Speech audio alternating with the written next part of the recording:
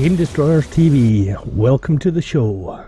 Darkpaw here and welcome back to Modshot. So today we have a 3 pack of Bonnel disc harrows. We have a 3 meter, a 4 meter and a 6 meter variants of the harrows. These are nice. Simple disc harrows but I like them. So we're going to put them through their paces. I already have a tractor over here. I got a tractor somewhere. So we'll start we'll start off with jumping straight back out of the tractor. We'll start off with uh, the 3 meter disc harrow and uh, we'll hook up to it and we'll just cross over here. I have the field on the other side here already pre-bought so we can test it out. So we just lower that into the ground.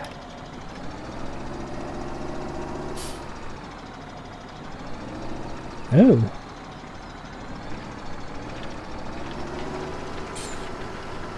That's interesting. Let us turn around. That is very interesting. I never noticed that when I was testing it earlier.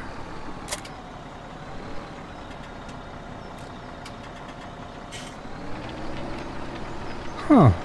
Okay, so the, this one wants to mount to the front of the tractor. On this tractor. I tested it with a different tractor before, so that's interesting. I'm gonna have to check that out.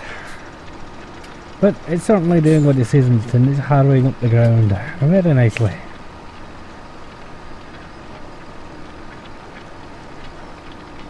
And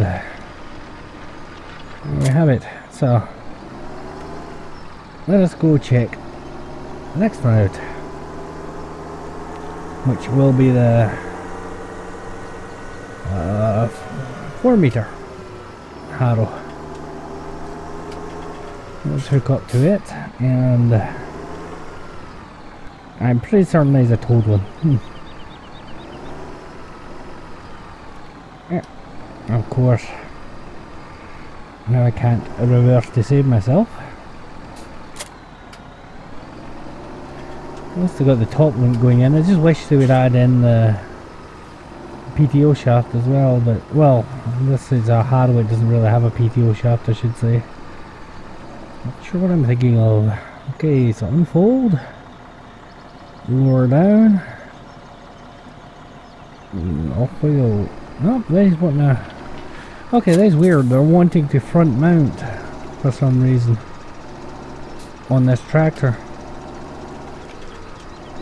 It's a possibility they're meant to front mount anyway, and it was just pure coincidence that when I tested them earlier something weird was going on.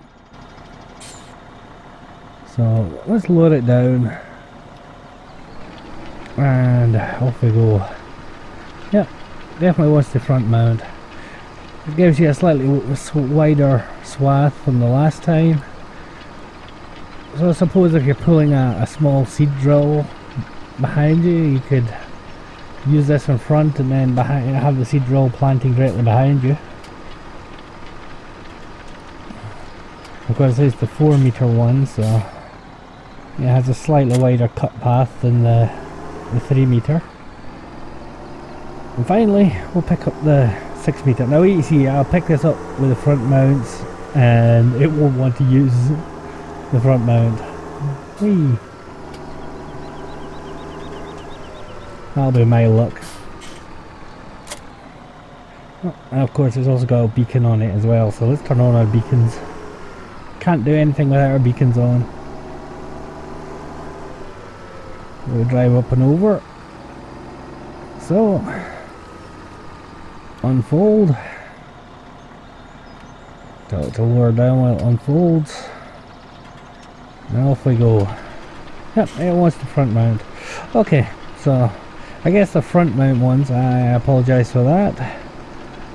But these are very nice. They're very handy to have around on the farm as well. not overly huge equipment, uh, so they're ideal for working in the smaller fields, which is nice as well. So lift it up. So there you have it. You want to check these out, the link will be in the description below. And I will be back again tomorrow with another mod shot. So till then everyone, stay safe.